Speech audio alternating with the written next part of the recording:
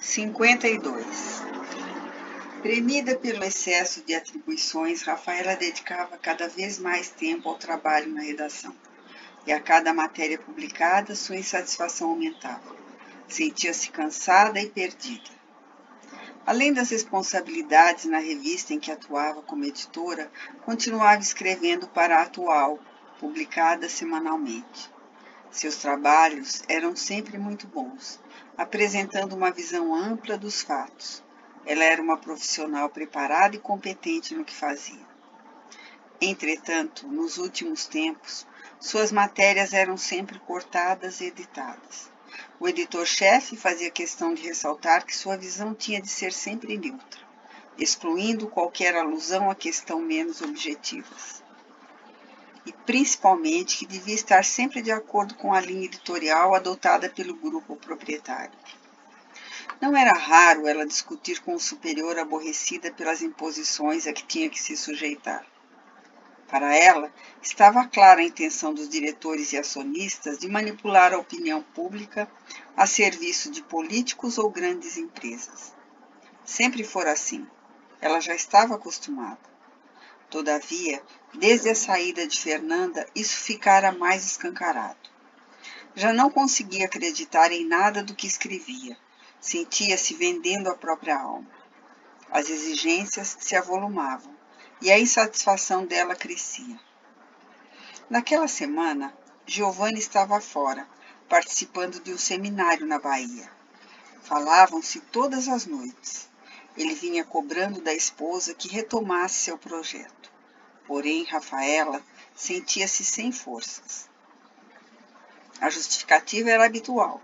Estava trabalhando muito, tinha compromissos e não podia ser irresponsável. Dessa vez, depois de conversarem por algum tempo, ele observou. Estou sentindo sua voz meio triste. O que houve? Está tudo certo. Não adianta negar. Eu a conheço muito bem. O que foi? Estou exausta, frustrada, descontente com o meu trabalho. Já falei que precisa retomar seu projeto. Ele é importante para você e para muita gente. E há o trabalho lá no centro, que praticamente abandonou. Eu sei que estou em dívida, mas o que posso fazer? O trabalho está muito pesado. Assim que as coisas melhorarem, eu retorno. Ao desligar, ela puxou a pasta recheada de papéis e anotações, documentos e listas de pendências. Meu Deus, minha última anotação já tem quase seis meses. Desanimada, folheou todos os papéis e os recolocou no lugar. Tomou um banho demorado na tentativa de relaxar. Ao sair, sentiu-se pesada e cansada. Comeu um lanche e enfiou-se na cama tentando dormir. Queria esquecer um pouco a angústia que a perturbava, a ansiedade que a dominava. Já havia doado o imóvel da Vila Mariana para o projeto, à custa de a mãe ficar quase dois meses sem falar com ela. Além disso, recebera impacto tão forte por causa da doação que acabara deixando o processo inteiro de lado. Como o sono não vinha, levantou-se e ligou o computador na esperança de falar com Laila. Já era muito tarde naquela região do globo e não encontrou ninguém conectado. Voltou para a cama e, depois de revirar-se por quase uma hora, enfim adormeceu. Do lado espiritual, Eva e Amaro a esperavam. Ao adquirir certa lucidez, no estado de despreendimento temporário proporcionado pelo sono, lançou-se nos braços da avó. Que bom vê-la aqui, se falava quase chorando. Estou tão perdida, tão desanimada. Tenho medo de afundar-me outra vez na depressão. Acalme-se, querida. Viemos para ajudá-la. Eva amparava carinhosa. Mas precisa fazer sua parte. Não poderemos fazer nada se você não colaborar. Sabe disso? O que devo fazer? Minha vida está uma confusão, estou cheia de compromissos e não acho tempo para fazer aquilo que mais desejo. E que lhe trará felicidade e realização. Já se perguntou o que a está impedindo? Se sabe o que deseja, por que não age? Rafaela olhava para a avó, incapaz de pensar direito, e falou hesitante. Não sei. Eu acho que sabe. Você está com medo de enfrentar a luta que a espera a partir da decisão a ser tomada. A jovem não respondeu, fitando a avó sem desviar os olhos. Então baixou o olhar e lamentou. Não tenho forças. Fico sempre adiando, tenho medo. Você tem tudo o que precisa para seguir em frente. Agora deve tomar a decisão. Ninguém fará isso em seu lugar. Rafaela olhava com as lágrimas descendo pelo rosto. Eva aproximou-se mais, limpou-lhe a face e convidou. Venha conosco. É uma noite especial em nossa colônia. Já habituada em espírito àquelas ligeiras viagens com os avós, ela o seguiu sem questionar. Foram ao encontro de Luana e depois de Giovanni, e não demorou muito para alcançarem a coluna. O grande salão estava lotado. Viam-se muitos espíritos encarnados, desprendidos do corpo físico, na companhia de outros da colônia, participando da festividade. O que está acontecendo, vó? indagou Luana interessada. Muitos se preparam para retornar ao corpo, querida. Esta é uma noite em que mães e pais estão aqui estabelecendo seus compromissos com espíritos que vão renascer na Terra para o trabalho de regeneração. É um momento ímpar, de grande emoção. Assim que todos se acomodaram, Amélia fez uma prece e leu um trecho do Evangelho. Em seguida, dirigiu-se aos presentes, iniciando a prelação da noite. Estamos felizes por todos vocês que aqui estão. Sabemos que muitos estão preocupados com a tarefa, temerosos de fraquejar. E com razão, os desafios do espírito encarnado são enormes. Enquanto estamos aqui com a consciência ampliada, enxergamos melhor e sentimos confiança quando retornamos, mergulhados no mar de pensamentos e emoções que dominam o orbe, muitas vezes se torna difícil pensar por nós mesmos, escutar nosso coração, nossa consciência. Chegada a hora de assumir o dever para o qual reencarnamos, envolvidos nos cuidados do mundo material, em suas crescentes exigências, deixamos de lado os compromissos assumidos.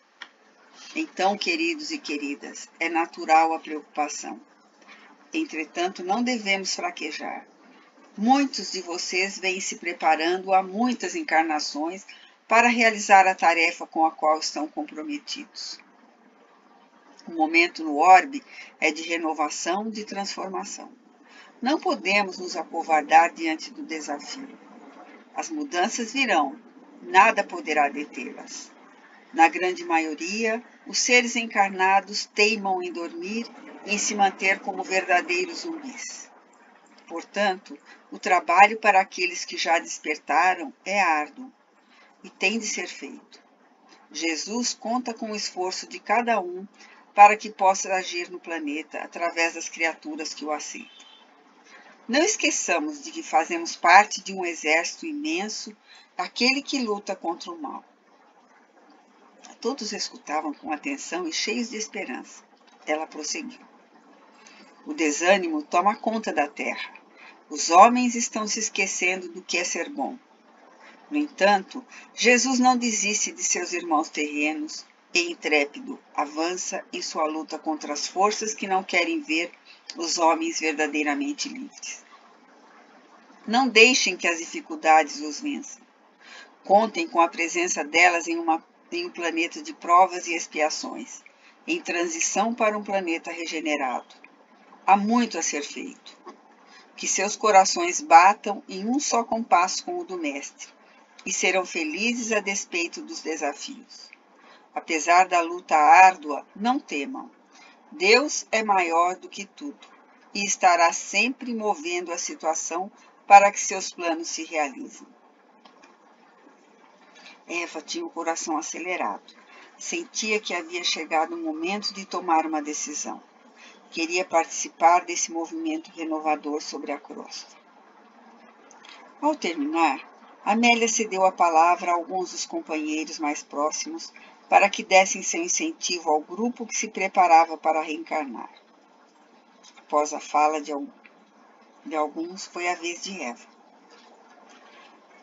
Queridos irmãos, queridas irmãs, vejo com muita alegria o quanto anseiam por levar a bom termo o compromisso que assumiram com o Mestre.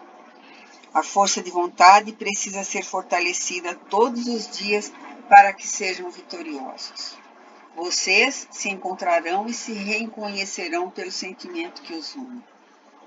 Encarando Rafaela de um modo estranho que a neta não pôde deixar de notar, virou-se para Amélia e declarou: Eu também vou encontrar você na terra. O rosto da jovem ficou lívido. Então a avó iria reencarnar? Obtive a permissão dos irmãos de esferas superiores e de nossos colegas aqui da colônia para retomar ao planeta. Ela fitava com ternura os olhares ansiosos dos que a ouviam, em particular o de Rafaela e de Amaro, que participara de sua decisão. Talvez não seja um encontro muito fácil, mas sei que nos reconheceremos. Vou para o Afeganistão e, com alguns, certamente haverei de conviver. A neta ficou séria. Que dizia ela? Não podia fazer isso consigo mesma. Nascer naquele país significaria sofrer. Eva já se preparava para passar a palavra ao próximo colega quando a dirigente interrompeu. Sei que muitos aqui ficaram surpresos com a decisão de nossa companheira. Regressar em terras de cultura tão diversa é sem dúvida um grande desafio. Esclareça-nos sobre os motivos de sua escolha. Eva retornou ao centro do auditório. Alguns de vocês já conhecem um pouco de minha história e daqueles que são almas queridas e afins.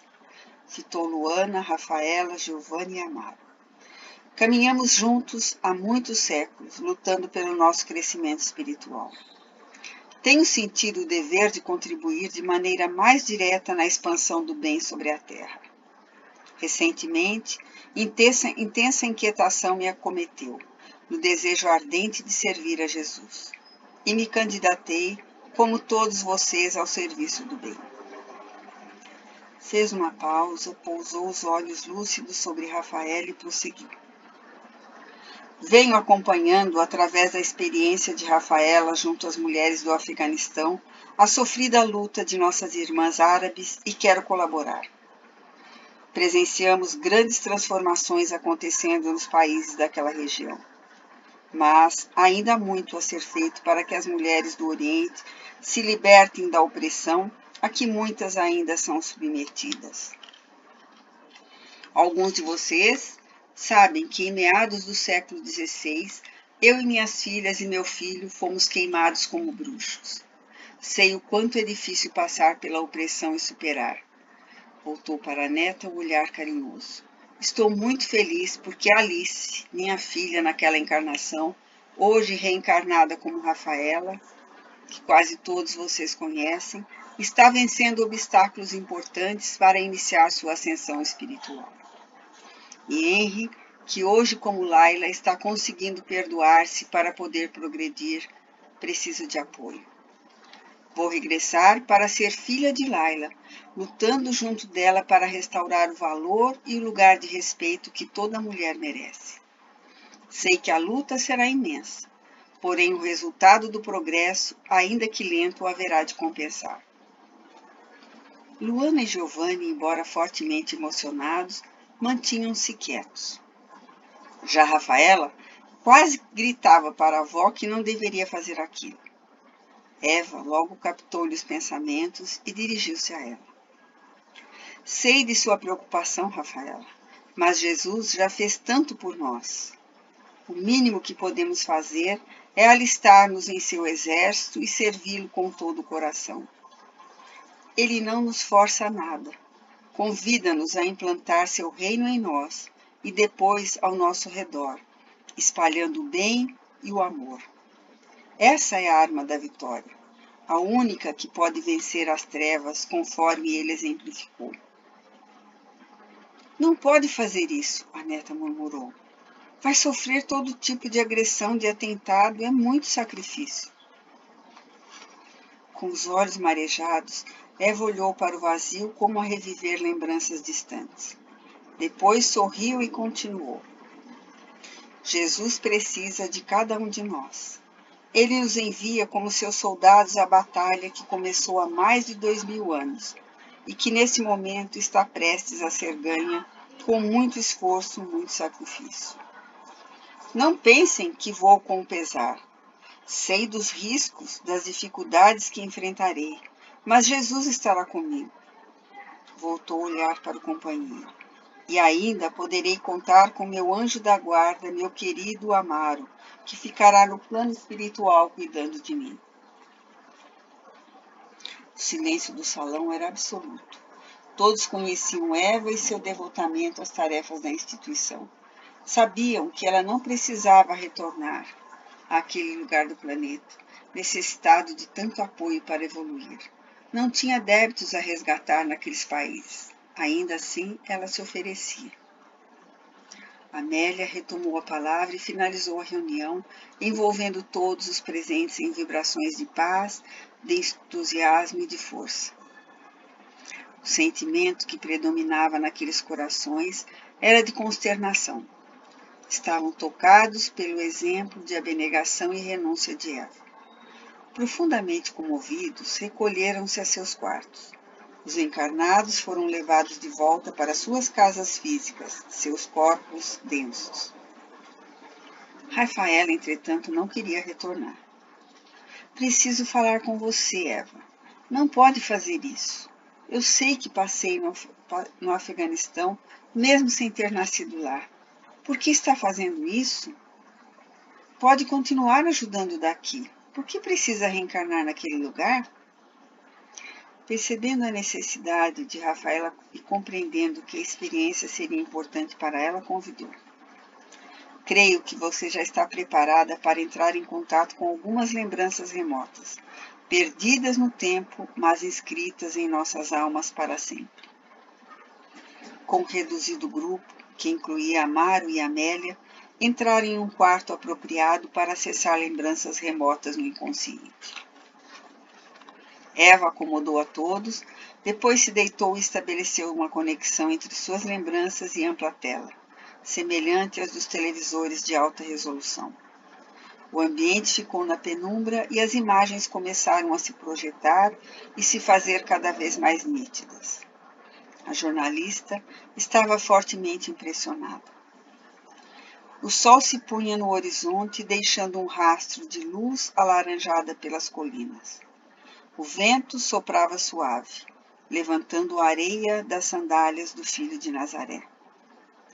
Jesus subia o monte cercado de todo tipo de pessoas, curiosos, humildes, sofredores e esperançosos. Mulheres, muitas mulheres. Junto dele iam Pedro, João, Tiago e Levi. Seu andar era firme e tranquilo. Eram os primeiros passos na grande jornada de regeneração da Terra, que ele começava a concretizar. Ciente do imenso trabalho que teria à frente, ia sem temor, mas sem ansiedade. Jesus iniciava suas pregações. No alto do monte estava completamente cercado pela multidão. Bem distante da turba, vinha Aurora, romana de família nobre e respeitada. Ouvira falar do mestre que surgia entre os judeus e se interessara. Tinha uma escrava judia de confiança e, através dela, seguia de longe os movimentos do novo profeta. Aproximou-se até alcançar um ponto em que se sentisse confortável e ficou à espera do que aconteceria. Jesus estava no centro do povo, mas ela não podia vê-lo e escutá-lo com clareza. Ele então acomodou-se e olhou o grupo com profundo amor. Seus olhos fitaram um a um os que ali estavam. E finalmente aquele olhar de um amor intraduzível pousou longamente sobre a Aurora. A mulher estremeceu. Aquele homem a fitava como se a conhecesse. E ela como se escutasse na mente. Sim, Aurora, eu a conheço. Conheço todas as ovelhas do meu rebanho. A jovem romana assustou-se, porém não conseguiu fugir. Ficou ali ouvindo Jesus. O mestre passou a transmitir sua mensagem de amor, falando do perdão e de sua missão de resgatar os homens, de libertá-los de todas as amarras e fazê-los realmente livres. Ele falava com tanto amor e tanta autoridade que Aurora sentia internamente seu convite para que o seguisse. Tocada por aquelas palavras, sabia que eram verdadeiras, vindas do único Deus que o povo judeu apregoava. Jesus seguia falando ao povo. As primeiras estrelas cintilavam no firmamento, e agora o mestre banhado pelo luar parecia um anjo do céu. Uma luz suave ao redor de seu corpo podia ser vista por aqueles que eram mais sensíveis. Por mais que apagasse sua imensa glória, Jesus era a luz mais intensa que o homem poderia ver. Era puro amor, manifestando aos homens as verdades divinas. Quando terminou, ergueu-se e começou a descer o pequeno monte. Antes, porém, pousou mais uma vez o olhar sobre todos, inclusive a Aurora. Seu convite inesquecível se renovou na mente da romana. Então ele partiu, acompanhado da multidão e de seus primeiros discípulos. Aurora permaneceu imóvel, observando o movimento. Depois que todos sumiram, a escrava tocou-a de leve. Senhora, melhor irmos agora. Já é noite e seu pai logo estará em casa. Sem pensar no que fazia, ela seguiu a escrava Ana, regressando ao lar. Naquela noite não dormiu. Podia escutar as palavras do Nazareno que soavam como puro amor. Ela não compreendia os novos ensinos, não entendia o alcance e o significado das palavras. Já aquele olhar nunca mais esqueceria. Tão profundo e belo, tão cheio de amor e ternura, o olhar de Jesus fixou-se em sua retina e depois em sua mente para sempre. Durante quase dois anos, Aurora ia escutar Jesus sempre que podia quando ouvia suas palavras ou simplesmente estava em sua companhia, tinha sentimentos tão sublimes que nada mais parecia importar.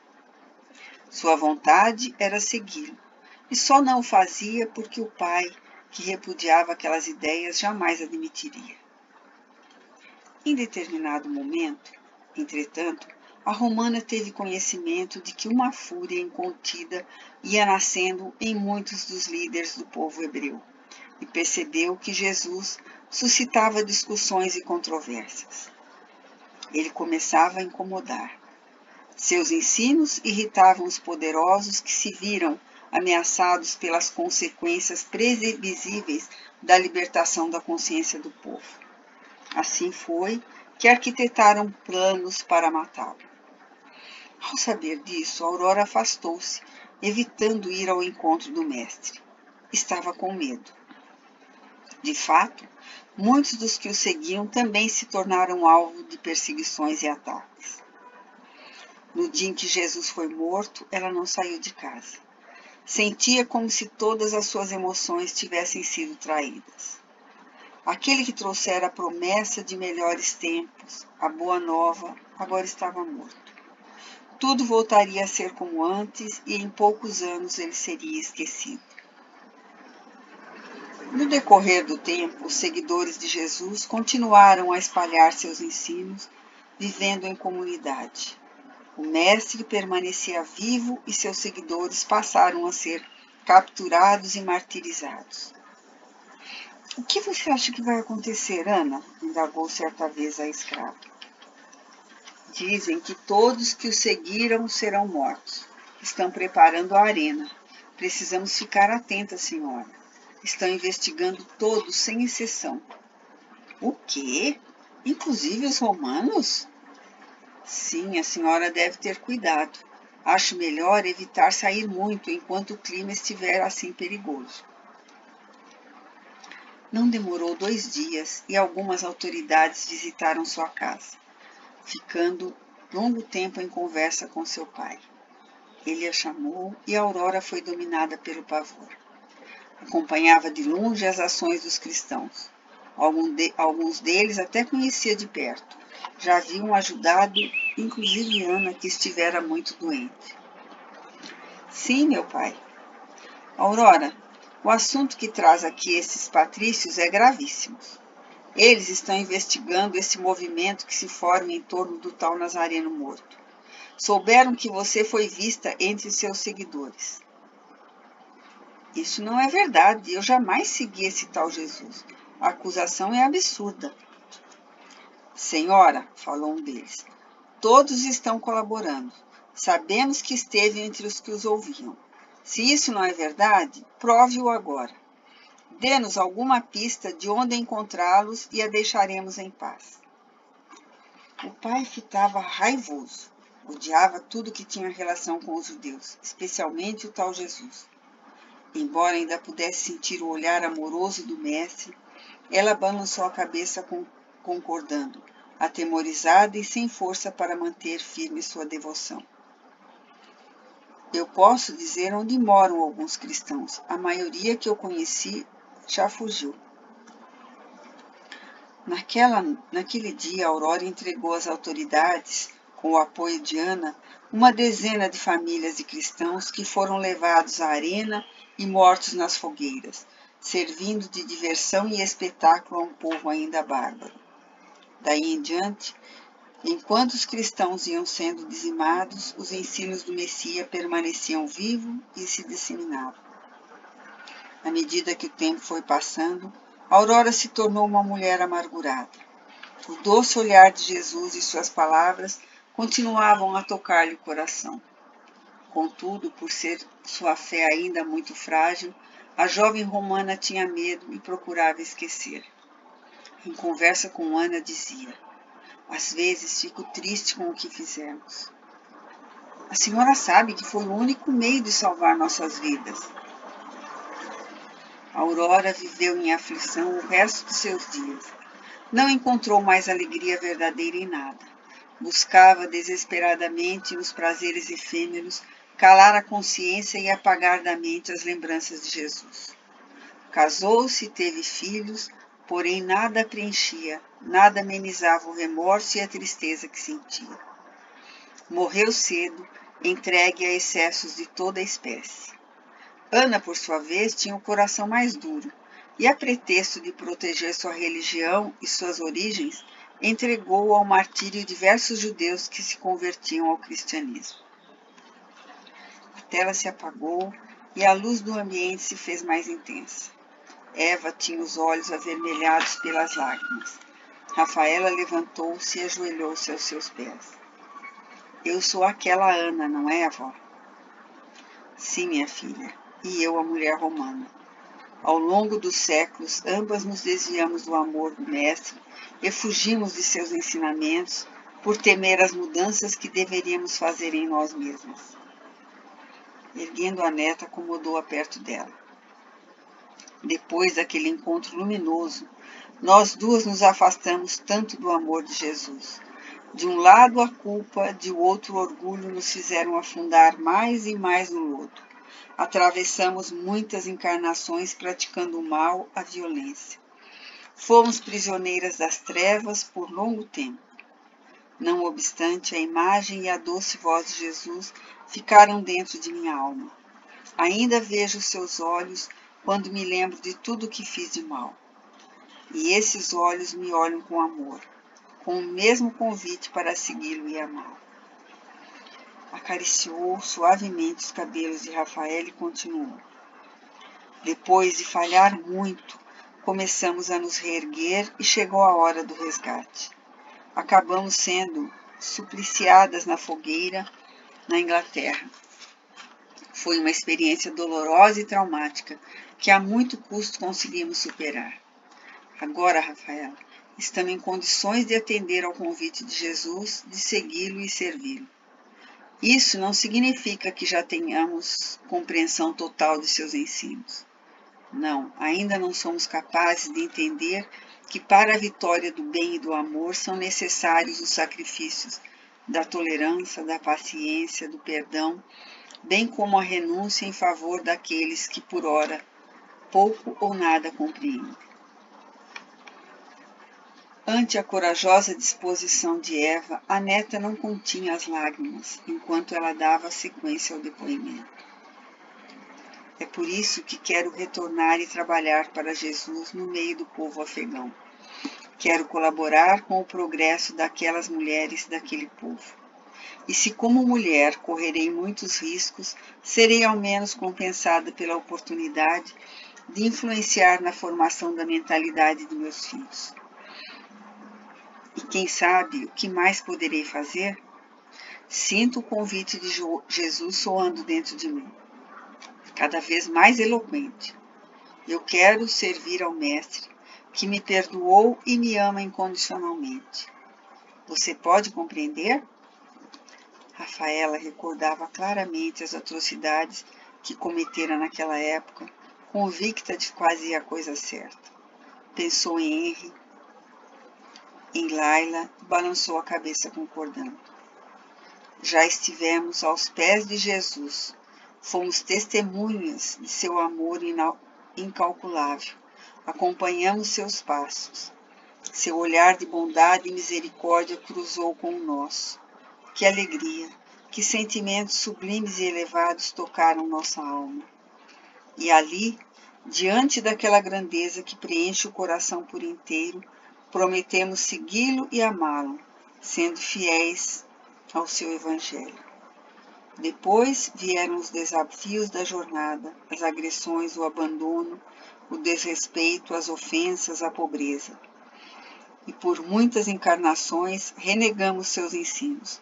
Apartados do seu amor, nos tornamos ferramentas das trevas, agindo contra o seu reino de luz e paz demorando o olhar em cada membro do reduzido grupo, Eva prosseguiu emocionada.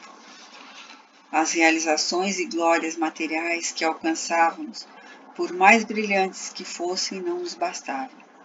Nossa alma buscava aquele sentimento indescritível, aquela sensação de plenitude de que só a presença do enviado divino nos alimentava o coração. Nada, nenhuma conquista terrena se assemelhava nem de longe àquele sentimento bendito. É que, semeando egoísmo e orgulho, mais e mais nos afastamos de Jesus. Em muitas ocasiões ele nos, ele nos ergueu e tornamos a cair, vítima de nossas imperfeições. Foi então que o Mestre, através de seus mensageiros, nos enviou a doutrina espírita, que restaura a pureza do Evangelho com vista a resgatar o homem do vai-vem de reencarnações perdidas. A sinceridade e a lucidez dessas considerações prendiam os ouvintes que, comovidos, receberam a, a conclamação de Eva. Eis que nova luz se acende em nossas almas. Estamos mais fortes para vencer as tentações da matéria e, no contato com o mundo espiritual, dar maior vigor à nossa fé, ainda frágil e outra vez nos aproximamos de Jesus. Agora que compreendemos um pouco melhor sua missão de amor e renúncia, é imperioso que nos entreguemos sem reservas. Sejamos fiéis a Jesus, fazendo nossa parte. Há mais de dois mil anos ele espera por nós e continua preenchendo-nos a alma de luz. Estamos por demais atrasados em nossa caminhada. Que nenhum desafio, nenhuma aspereza, nenhum receio, nenhuma culpa nos impeçam de segui-lo e honrá-lo com nossas vidas. Não nos detenhamos. Sejamos decididos e não haverá emaranhado de forças materiais ou malignas capazes de nos impedir de servir ao Mestre e desfrutar sua divina companhia. Eva agora tinha o semblante banhado por uma luz azulada que emanava de todo o seu ser. Servi-lo é meu maior anseio. Ele trabalha incessantemente pela elevação da humanidade. Essa mesma humanidade que até hoje não o aceitou nem entendeu. ele segue amando e servindo, lutando para consolidar a fé e a caridade no seio da humanidade inteira. O mínimo que posso fazer é servi-lo, submeter-me aos seus desígnios e contribuir para o progresso planetário, que somente ocorrerá pela expansão do amor na Terra. É isso, e isso ainda se fará com dor e sofrimento, pois a grande maioria dos homens não consegue compreender a dignidade e a beleza do sacrifício. Por isso eu vou, porque desejo servir o Mestre onde quer que ele me mande ir. Amaro, Rafaela, Luane e Giovanni se abraçaram a ela, envolvendo-a em carinho e respeito. Conto com seu apoio, Rafaela. Você, mesmo à distância, poderá amparar Laila auxiliando-a e preparando o terreno para que mais tarde eu possa trabalhar no sentido de estender o progresso e despertar as mulheres daquela região. Como se lembrará? perguntou a neta. Amaro me acompanhará, e a mediunidade, desde as mais tenra idade, me ajudará a vê-lo e a manter meus pés firmes na jornada. No mais, terei a oportunidade de resgatar débitos para com as leis divinas, acelerando meu crescimento espiritual. Eva fez longa pausa, durante a qual não tirou os olhos de Rafaela, e por fim aconselhou. Não esqueçam, meus queridos, é imprescindível agir. Aqueles que se alistaram nas fileiras de Jesus devem ser suas mãos e braços na terra prontos a trabalhar não é suficiente ouvir, gostar e aceitar. Cumpre fazer mais. O mundo necessita de ação, de trabalho no bem. Não basta despertar a consciência. É preciso agir no bem para que a transformação aconteça.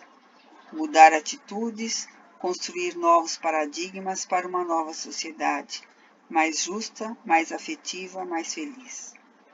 Não venceremos a violência as drogas, o mal, enfim, sem esforço e luta, sem sacrifício e renúncia. Essa é a essência dos ensinos do Mestre. Essa é a experiência daqueles que lhe seguem os passos. E é o que ainda não conseguimos aprender de seus ensinos.